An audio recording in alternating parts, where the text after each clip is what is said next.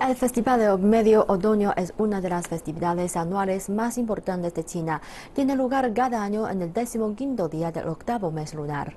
China considera el Festival de Medio Otoño Patrimonio Cultural Intangible desde 2006 y fiesta nacional desde 2008. Veamos ahora de qué se trata esta celebración. El Festival de Medio Otoño tiene miles de años de historia en China. La tradición de venerar a la luna en estas fechas se remonta a hace 3.000 años.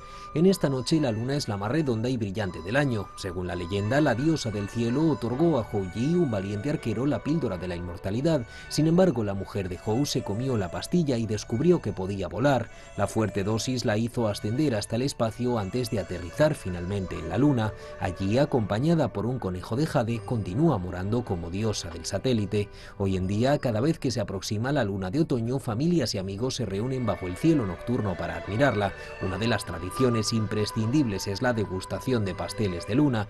Durante generaciones estas pastas han tenido rellenos dulces a base de nueces, semillas de loto o yema de huevo.